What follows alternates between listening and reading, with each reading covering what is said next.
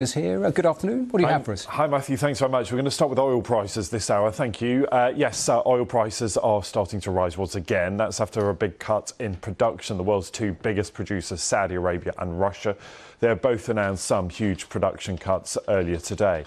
Well, the news was enough to send the price of Brent crude 2% higher. Just a while ago, it was trading around $75 a barrel. Now, first up today was Saudi Arabia that announced it would cut production by 1 million barrels a day from August. Then Russia said it would cut production by half a million barrels a day from August as well.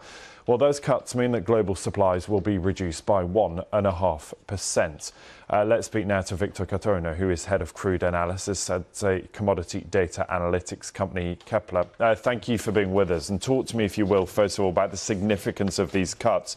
Those announced by Saudi Arabia are not new, although we know they are trying to keep the price higher. Yeah, indeed, they are not new. And in a sense, Saudi Arabia was forced to do this because the initial announcement, Saudi Arabia's announcement to cut 1 million barrels per day of production in July, came after the OPEC Plus meeting. In fact, it was the only real result of that meeting. But prices didn't really re react. If you compare prices in the beginning of June and right now, they're actually lower uh, than they used to be. So in a fact, uh, Saudi Arabia was compelled to extend the production cut because it effectively had no reaction from the market. And as today's uh, developments actually show us, uh, there wasn't a, a, reaction even today. Uh, effectively, prices went up by less than a dollar, and most of it has fizzled, fizzled out already. So really, there's no actual uh, reaction in the markets, even though this is very significant, 1 million barrels per day, that's roughly 10% of Saudi Arabian production. That is very sizable. Yes, I wanted to ask you that. Give me a sense of, you know, what this equates to. I say they're one and a half percent of global oil supplies. It doesn't sound like a lot, and yet it has the power to raise prices, doesn't it?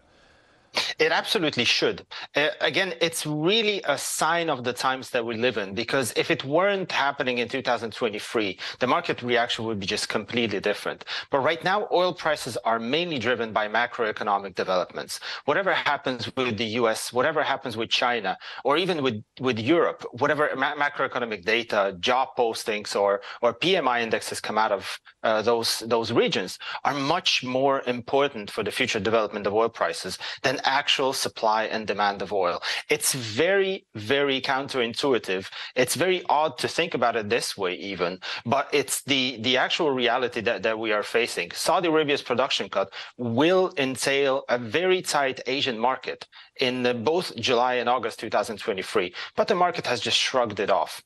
Yes, and I wanted to ask you that. You know, join the dots for me, if you will, between the big players here Saudi Arabia, Russia, and China. Uh, they wield huge power over what we will pay for oil.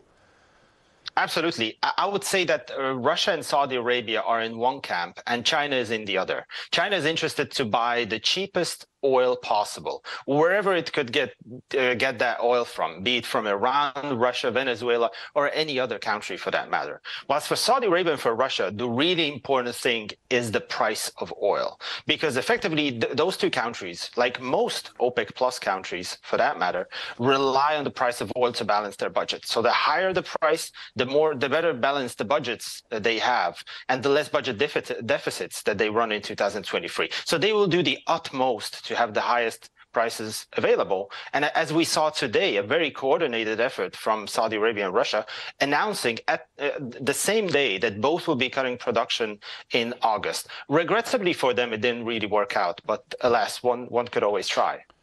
Yeah, it'd be interesting to see the implications of this right around the world, won't it? Uh, Viktor, thank you. Viktor Katona there, joining me uh, with the latest on those oil price moves.